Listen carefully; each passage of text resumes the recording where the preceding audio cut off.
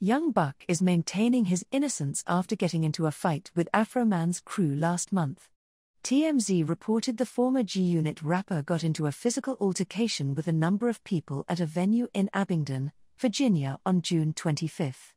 According to the report, Young Buck refused to leave the stage after performing at the Zerati shop before getting into it with Afroman's artist Lil Sodi.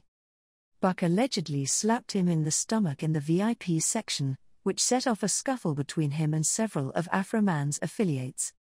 In a since deleted post at the time, Buck called out the Because I Got High artist and accused his group of attempting to jump him.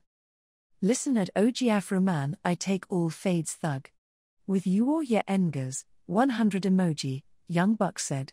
You all engas try to jump me toe, crying laughing emoji, I came to show love. Crying laughing emojis. Enga this hashtag Cashville first and always NH60. He added, They should have told you I got hands thug, face with glasses emoji. Come see what this shit do, 100 emoji, exclamation points emojis, face with glasses emojis. Afroman also shared his side of the story, calling him his brother but telling him to put an end to punching strangers. Young Buck reportedly auctioning off catalog to pay $250,000 debt. Young Buck is my black brother, he wrote. Young Buck is my brother in Christ. Young needs to stop punching people he don't know in the stomach. Young Buck needs to control his alcohol and drugs. If he's going to be out in society, he needs to be civil. I forgive Young Buck. I'm praying for Young Buck. God bless you, brother.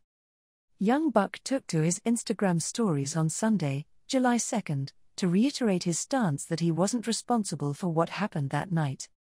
Sometimes you need a good old fashioned bar brawl. He wrote. But I'm hashtag note guilty.